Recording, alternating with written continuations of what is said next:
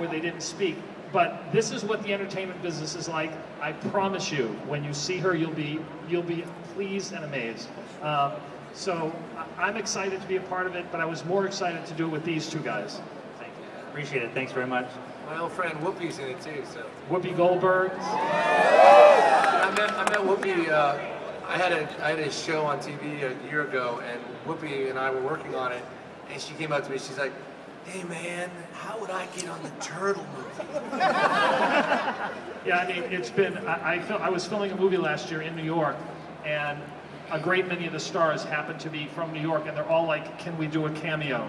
We've got a couple of them that were able to actually get there. It is amazing when you find how many people are Turtle fans, big stars that you know. We're excited about Whoopi Goldberg, we're excited about Will Arnett, we're excited about going back to, um, to tell this story in a way that they couldn't have done it in 1990 with the kind of technology we have now. Again, I think everybody's going to be really excited. And as my dear friend Kevin said, hold your opinion until you see it because all those rumors and all that stuff, it's not the real thing. Well, that was funny because Whoopi originally wanted to be the Shredder, so uh, we talked her out of it. Shredder, then Casey, then Yeah, there's uh, Bebop. then Bebop. Uh, hey, how many of you guys have seen the new Turtles animated cartoon show? I have to tell you this, like, it's in 1984 when, Peter and I first drew the original Ninja Turtles, uh, Turtles comic book, we never believed would sell one single issue of the comic.